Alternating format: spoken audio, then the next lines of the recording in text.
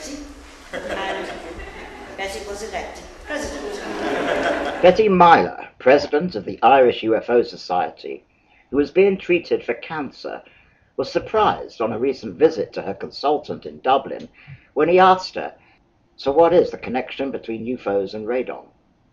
Apparently, 70% of his cancer patients come from counties Sligo and Donegal, which are not only rich in radon gas, but happen also to be the Irish UFO hotspots.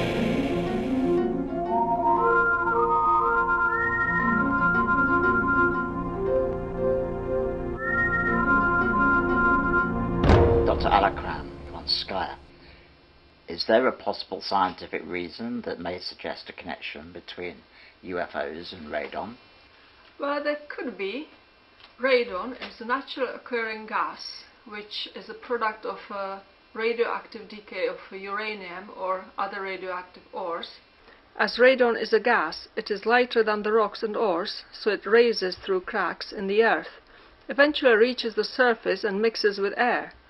The main human concern of radon is that it can get into buildings through cracks in the floor and then reach high concentrations in poorly ventilated areas like cellars or sometimes ground floors of buildings. Very high concentration of radon can be found in mines and it has been known that long-term exposure to radon-rich atmosphere can lead to lung cancer.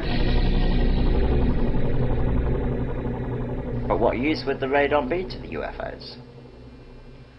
Well, maybe not radon, but if we look at the radon is part of um, radioactive decay chain.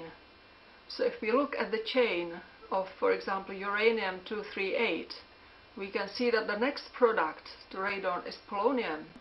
And that could be of extreme interest to the engineers and pilots of UFOs. Radioactive particles are unstable particles which fall apart naturally during which process a high amount of energy is released.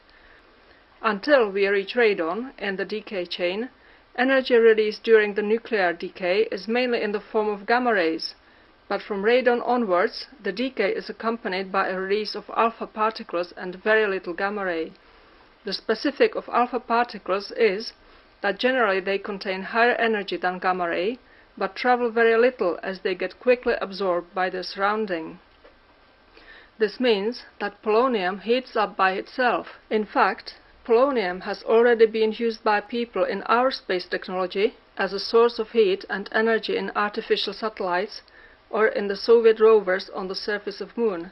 So we could speculate that radon-rich areas might be of an interest to aliens as a potential source of their energy supplies. But would it not then make more sense for the extraterrestrials to go directly to deposits of polonium rather than be harvesting for radon? Deposits of polonium are very hard to detect as the alpha particles that are produced travel very little and get quickly absorbed. So this polonium would really just heat up. So it would be quite hard to find and also mining is a very laborious activity with plenty of waste. It's very difficult to hide and cover. It possibly could lead to territorial disputes with humans. So if aliens don't really want to interfere with us, don't want any kind of war to gain territory and dealing with us too much, and did not want to properly colonize the earth, then it would make much more sense for them to create a technology which would allow them to harvest radon and then wait for it to decay naturally into the desired polonium. After all, the most common isotope of radon decays into polonium in less than four days. It's much cleaner process. How would the extraterrestrials harvest the radon? Uh, one possibility could be centrifugal separation, centrifugal separation of gases we have known this technology. It has been used by humans for uranium enrichment. It is based upon just spinning the air and the heavier particles gather at the wall of the centrifuge. And radon is one of the heaviest gases in the atmosphere, so it easily could be used for concentrating radon. So maybe the so-called flying saucers that people sometimes see are just big centrifuge machines which suck in the air, spin it around, and gather the concentrated radon gas.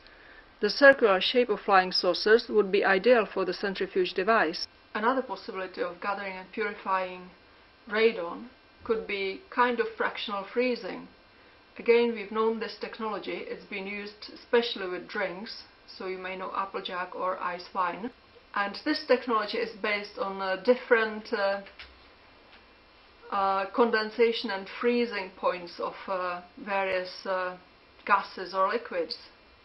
So again, the air gathered in the UFO and the flying saucer could be cooled down and different fractions of the air, different gases, could be separated based upon their different freezing points. But people sometimes report orange-red glow to the UFOs. There could be a connection.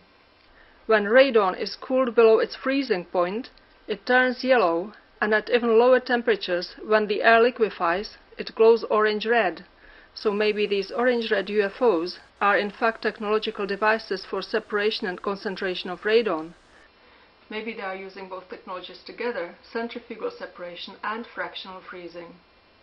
But what about the aliens themselves? Would they not be in danger of irradiation during the process of harvesting radon? Oh, aliens would be in danger of irradiation, they certainly would, but flying saucers can be unmanned vehicles. We know the technology ourselves, and humans have been using unmanned vehicles, unmanned flights especially, in war zones, or they would have to protect themselves by a good suit. Alpha particles are very destructive to biological tissues when ingested or inhaled. They could cause more damage than ionizing radiation. It occurred to me that the typical shape and form of the so-called extraterrestrials that uh, contactees or abductees claim to have seen, the uh, archetypal grey, that maybe they are a genetically modified entity. I mean, is it possible that uh, they were genetically modified so that they would, in fact, be immune to uh, radiation? I wouldn't think it would be too easy to do, really, because radon decays further, as well as polonium. The main product here is alpha particle alpha particles do travel very little, but can cause great harm to biological tissues.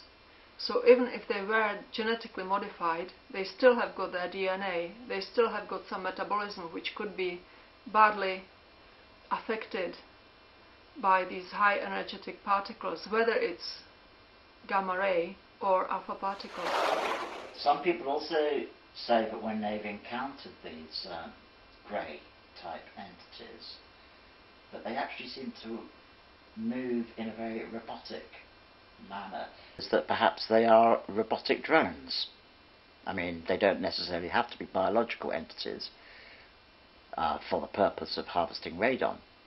That would make much more sense, really, because then they would certainly be immune to whether alpha particles or gamma rays.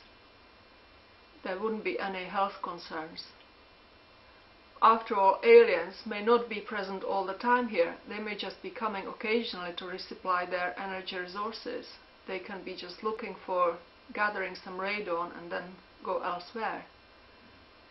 So Earth can be just kind of a mining area for them.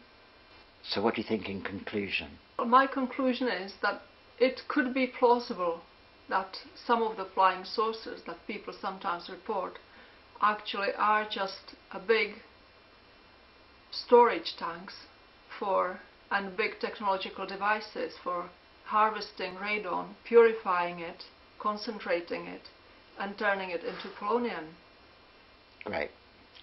Thanks, Dr. Ivonskaya.